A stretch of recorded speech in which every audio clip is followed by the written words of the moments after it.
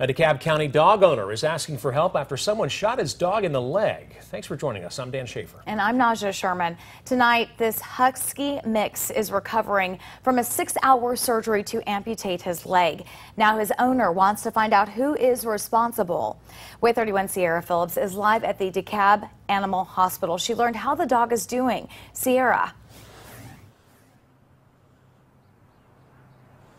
In the last few hours, Nike the puppy got out of surgery. Vets say the bullet went all the way through her leg and the damage forced them to amputate. The owner didn't want to go on camera but tells me he wants answers. Around here, it's becoming a normal thing for people to just shoot dogs. Amanda Adams has been busy for the last 24 hours helping her friend after his dog was shot near his home in Fort Payne. She done good throughout the night and they kept her on antibiotics and an IV. Nike's owner told me she was probably shot sometime Monday night. And left laying overnight to just die. The owner says Nike was found Tuesday morning in their neighbor's yard and police were called.